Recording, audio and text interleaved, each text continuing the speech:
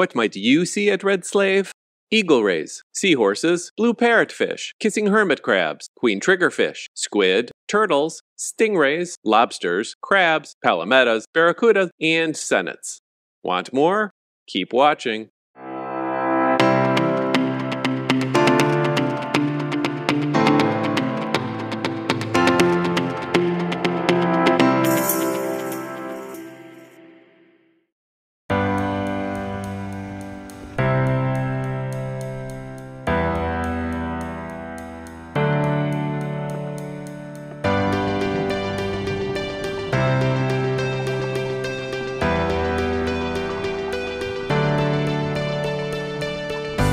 Red Slave is named for the small huts where slaves lived while working in the salt production process in the 1800s.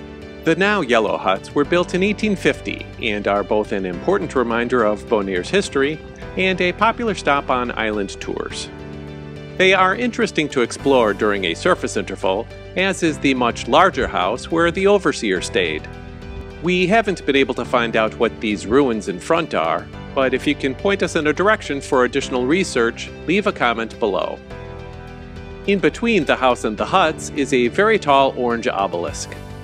It's over 30 feet high and one of four on the island that were once used to let cargo ships know where to set anchor in preparation for loading the salt. There are also a couple of columns or turrets right at the edge of the coast. As far as nature goes, we've seen flocks of flamingos flying around and a few just hanging out in the salt pans across the street. Pelicans patrol the coast looking for a shallow meal in the water, while lizards do the same on land. We even came across a few donkeys on our way back from some of the night dives. There are some interesting flowers, and patches of greenery dot the rock and coral debris landscape. We haven't seen snorkelers here, that's not to say they don't come, but they're scarce if they do. Perhaps making the long drive without knowing the surface conditions is a factor. In any case, the shallows are a wonderful mix of gorgonians and short corals to the south, and long sandy areas to the north, with plenty of creatures to watch. As far as the diving, we continue to get first time captures at every site. Red Slave had this Ulema, and some encrusting zoanthid. Other highlights include a few long-snout seahorses, a juvenile arrow squid, and a post-larval surgeonfish. The sea life section in this video will have longer clips, but if you want to learn more about the uncommon animals shown here, or more about the slave huts, check out the description below for links to additional information. Before going any further, we now have more than 2,000 subscribers. Yay! Thank you so much if you're one of them. If you're not, and you're enjoying this video, why not give it a thumbs up? Consider subscribing yourself, and hit the bell to get notified when our next video comes out. Help us get to 3,000. Thanks. Adorable smiley face.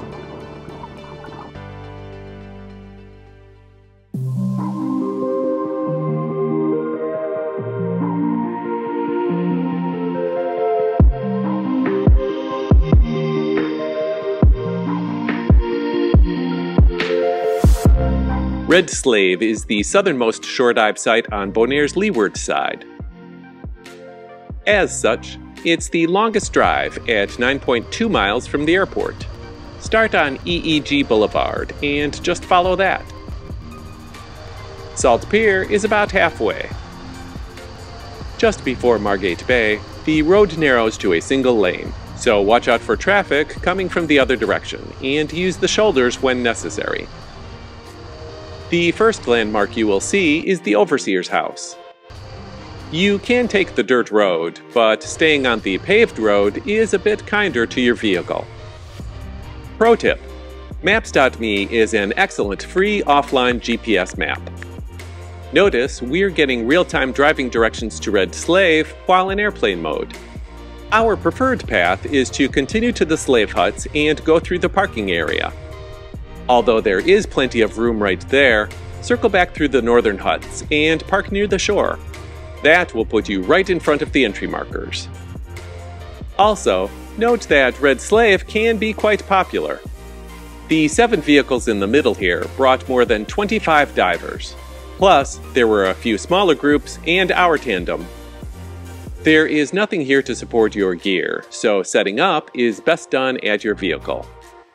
The sun is relentless here, so a windshield sunshade and sunscreen will make your life a little more comfortable. We've started to show the closest dive shops in our videos this year, but you should be warned that Red Slave is not really close to any. Still, beyond the corals, Dive Friends and Flamingo Diving are 7 to 8 miles north if you need equipment support. The formal entry is easy to spot, not only because there are yellow rocks pointing the way, but there is also a well-worn rock and dirt path leading toward the shore. We have seen people enter just north of there as well. In either case, almost immediately upon entering the water, the bottom becomes a mix of loose rocks, followed by an uneven rocky shelf that has some holes in it. Waves not only stir up sand, making it hard to see where you're stepping, but can also make balance difficult. Go slow, walk methodically, and work with your buddy in case either of you need assistance.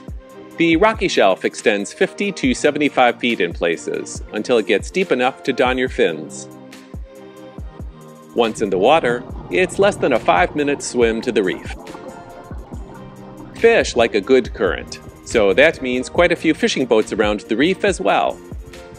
We talk about being mindful near the surface in every shore diving video, and typically show actual footage of surface traffic from each dive site. But be aware that fishing from shore is allowed and presents another potential hazard. We don't see it that often, but stay alert.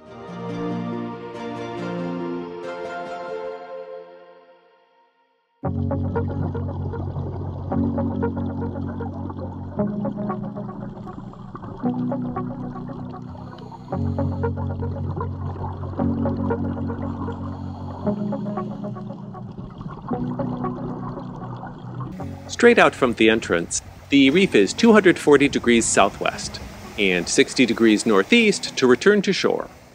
That said, navigation can be tricky here because the compass heading to shore can change drastically depending on how far around the tip of the island you go. So here are a few other things you can use to navigate underwater. From the dive site marker buoy, the entrance is at 20 degrees northeast, and this tire sits at the near side edge of the sandy shallows, in 10 feet of water, straight out from the entrance. The reef topology here is quite varied. A loop to the south will have a bit more reef, with lots of gorgonians feasting on nutrients and microorganisms, drifting with the current around the tip of the island.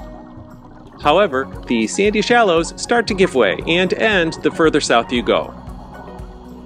Diving to the north has fewer gorgonians, but much wider sandy shallows where rays might be hanging out.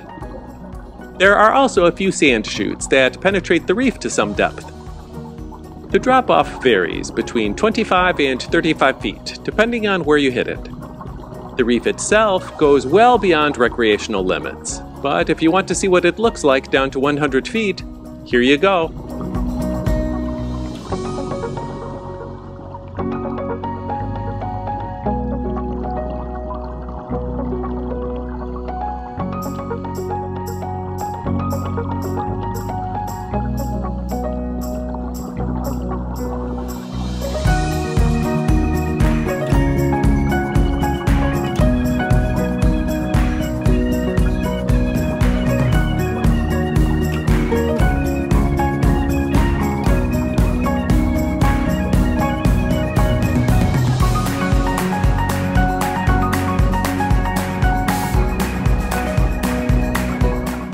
Due to Red Slave's location, the currents can be quite strong at times, which can also impact visibility. Check out the amount and speed of the particulate in the water during one of our night dives. Also, all those rolling waves constantly coming in mean the surge can get quite intense close to shore. This real-time footage shows the water changing direction about every 3 seconds. We have over a minute of this, but you get the picture. Always remember, if you ever feel uneasy, uncomfortable, or unsafe, you can always abort the dive. That said, there are plenty of times when the dive is relaxing and the spectacular sea life is on full display. Perhaps it's the site's location, but there are so many interesting animals here. We found a sizable squad of squid in the shallows, one of which seemed particularly friendly. There were turtles, spotted eagle rays, a southern stingray, and even a free-swimming green moray eel. Now, let's talk schools. Blue parrotfish are pretty unique by themselves, so seeing a small school grazing in the shallows was extraordinary. We also saw a small school of smooth trunkfish, which is really uncommon. There was a large school of palometas that let us get close, a few southern sennets, sergeant majors, smallmouth grunts, blue tang, yellowtail snapper, creole wrasse, and the obligatory yellow goatfish grazing in the shallows. Speaking of the shallows, regular viewers know that we talk about them in every video. But the yin and yang of day and night diving here provides one of the starkest transformations we've seen at a dive site. By day, the vast, rippled sandy shallows are home to hundreds of rosy razorfish. At night, however, the sandy shallows are transformed into fields of tube-dwelling anemone. Some are especially colorful. There's also a whole bunch of elkhorn coral in about 10 to 15 feet of water south of the slave huts. Now, even with all this, if you think we've run out of things to show you in the sea life section, think again. While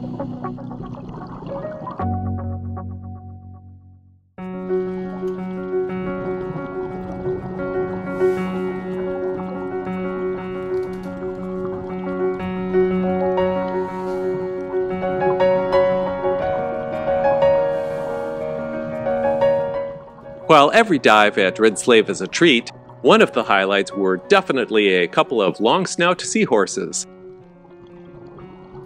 Mollusks don't necessarily excite everyone, but finding a Eulema shell was special. Unfortunately, it wasn't occupied, but it was still very pretty. This encrusting zoanthid was actually a first-time capture for us. It can overgrow more than 20 species of coral, and produces palytoxin, which can be poisonous to humans. Taking shelter from the current in the shallows was a cute juvenile queen triggerfish. We also saw this thing in the shallows. We're not exactly sure what it is, but if you know, tell us in the comment section below. Red Slave is definitely in our top three favorite dive sites on Bonaire. And to prove our point, here are even more awesome animals you might see during a day dive.